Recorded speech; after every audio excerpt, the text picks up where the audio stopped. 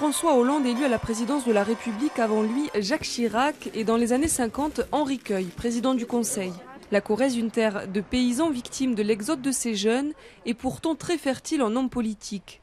Gaullistes, socialistes, communistes même, depuis plus de 100 ans, plusieurs sensibilités s'y sont côtoyées, une situation difficile à expliquer.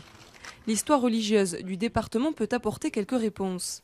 Christianisé très tard, autour du 7e siècle, puis rapidement déchristianisé au profit des valeurs républicaines, en Corrèze, la politique a fait très tôt office de religion. Je n'irai pas jusqu'à dire que la politique et la religion ne monde sans religion, encore que la pratique politique en Corrèze est une forme de pratique religieuse, d'attachement moins à des idées finalement qu'à un messie, qu'à un homme. Le nouveau messie de la Corrèze, François Hollande a sillonné ce département pendant près de 30 ans. Une terre à la géographie plutôt hostile, coincée par les contreforts du massif central, tiraillée entre le nord et le sud. On n'est pas la Savoie, on n'est pas la Normandie, on n'est pas le Pays Basque, euh, on n'est pas, pas la Catalogne, on n'est pas la Provence, on n'est rien. On n'est rien, donc il faut bien quelqu'un pour incarner, pour sublimer ça rien.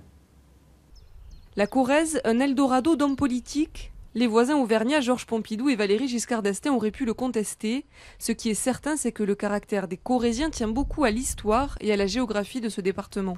C'est une terre de résistance, donc euh, très politisée. C'est une terre où la République a beaucoup de sens, euh, où euh, les frontons sont respectés.